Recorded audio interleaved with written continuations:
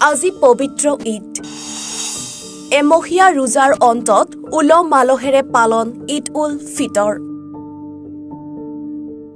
ইছলাম ধৰ্মাৱলম্বী লোকসকলৰ বাবে আজি পবিত্ৰ দিন। শান্তি আৰু সম্প্ৰীতিৰ বাৰ্তাৰে সমগ্ৰ দেশৰ লগতে ৰাজ্যতো ইছলাম ধৰ্মাৱলম্বী লোকসকলে ঈদ উল ফিতৰ উদযাপন কৰিছে।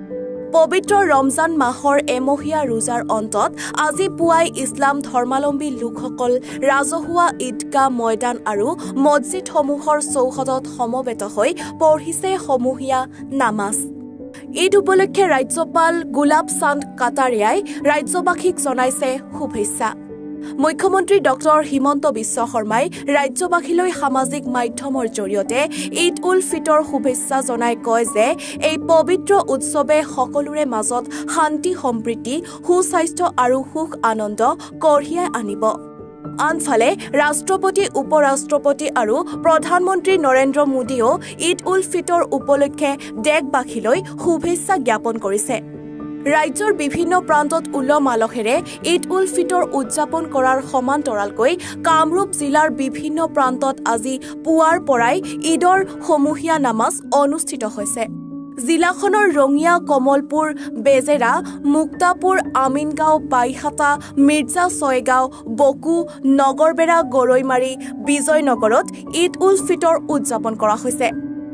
আনহাতে গোৱালপাৰা চহৰৰ নয়াপাৰা ঈদগাহ ময়দানত দহ সহস্ৰাধিক লোকে ঈদৰ নামাজ আদা কৰিবলৈ সমবেত হয়।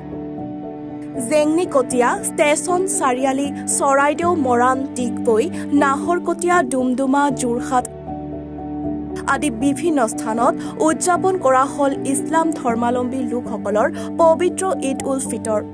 এনেদৰে ধৰ্মীয় নিয়মৰ মাজেৰে এমাহ কাল পাৰ কৰি ইছলামিক কেলেণ্ডাৰৰ দশম মাহ চাৱালৰ আগমনৰ প্ৰথম দিনটোতেই ৰোজা ভংগ কৰি উদযাপন কৰা হয়।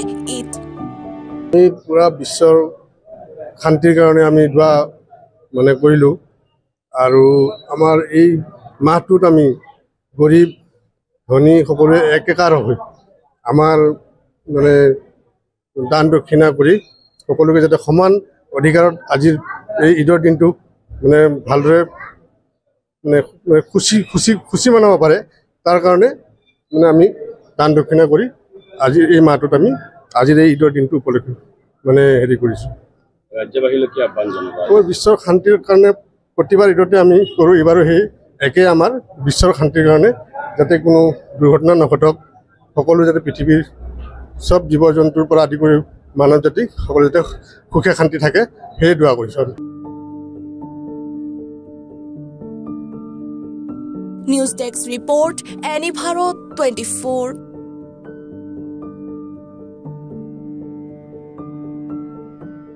Join BSc Nursing and GNM at St. Martha Institute of Nursing Guwahati under SM Group of Institutions.